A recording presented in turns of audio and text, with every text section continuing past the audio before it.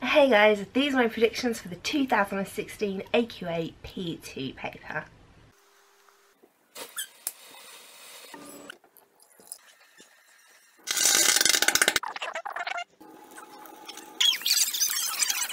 So the first thing I have to tell you is that I am not an examiner. I do not have any inside information. I do not know any secrets. I am just a teacher and I've done a bit of thinking and I've done a bit of looking and these are my guesses because they are just guesses for what's going to be on this year's paper. But please don't just revise the stuff that I say here. Please revise everything really, really fully. Having said that, I can tell you you are going to need to know your maths really, really well. I've gone through all the highest papers and on average in the higher paper, 40% of the marks comes from math skills. Now these aren't tricky math skills, it's not something that you need to spend a lot of time uh, going over in your math textbook, but what they do in physics is they take a rather simple math skill and they put lots of words around it. And the words really confuse people because they can't pull out the numbers and then do the physics skills from the maths. Now what you need to do is practice, practice, practice. Because in the exam, what you're going to get is a load of words with some units and then your formula sheet. Now your formula sheet for P2 is two sides long. That's so much more than we had to do for P1. And you need to know every single one of these units. Because if you can't take the stuff in the question and relate it to the formula sheet and work out which formula you need to use, you're not going to get any of the marks. And generally, one of the marks on this question is for writing down the units. And these are easy, easy marks if you can do this. Now the other thing that I've seen recently is that they're making these math questions a little bit harder. They're throwing in a few extra skills that you probably haven't practiced in your science lesson because they're not really science things. They've added in using standard form and if your question gives you numbers in standard form, the examiner is going to want you to answer in standard form. They've also been asking you to give numbers to a certain number of significant figures. Now these are really, really hard skills and you have to practice them really well. And because I know these are hard skills and because I know you need to practice them really well, I've written you a book and I've made you a video on how to do this. There are links you can go and download it. This will be a really, really valuable part of your revision. The other thing they might do with the maths is combine two different equations together. Now sometimes they might give you like an easy part A and then in part B give you another equation, another bit of information and ask you to work something else. And people come to me and say, Miss, they haven't given me all the information I need. You just need to go back to the previous part of the question and look there. Don't forget, sometimes you're going to have to use answers that you've worked out for yourself in the next part of the question. And if you're not sure that the first part of the question is right and you don't want, maybe you don't want to use your answer in the second part, that's okay. You can still use your answer and the examiners will just follow your maths through and they can do something called error carried forward, which means you can still get credit for your working because please always write down your working, even if the answer you've used from part A isn't quite correct. So six mark questions.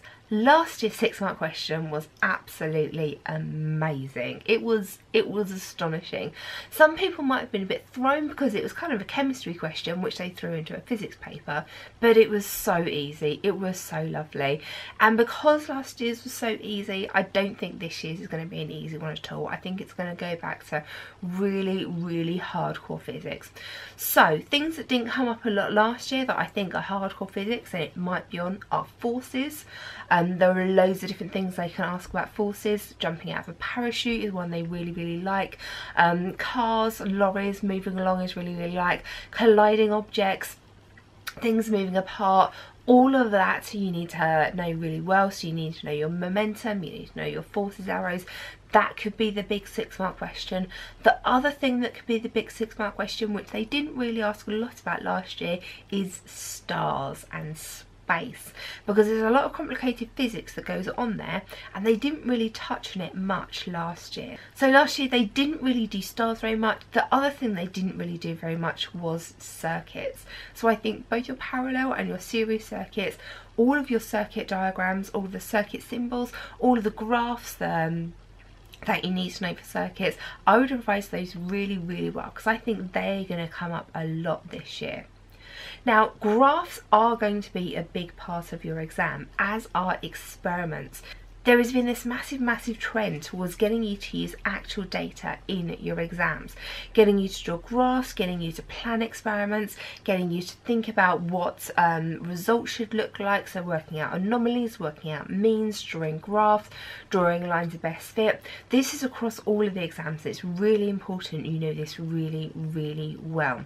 My ISA, my controlled assessment playlist will help you with all of the skills, but go over all the practicals that you've done in class make sure you know how to do them how to do them safely. There is generally in a physics exam at least one whole question based around a practical so I've said you need to know your current and your voltage graphs really well. The other graphs you need to know really well are going to be your distance time and your velocity time graphs and your half time graphs and your half time equations.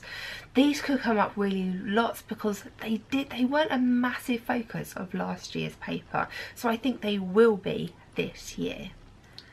Okay guys, lots and lots for you to revise there. Use this as your starting point. Don't just revise the things that I say in here.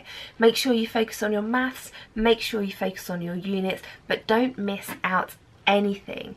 Really, really good luck in the exam. I know you guys have been working so, so hard. I can see it when the comments, I can see it in the stats, and I'm really, really proud of you guys. Good job. Keep it up.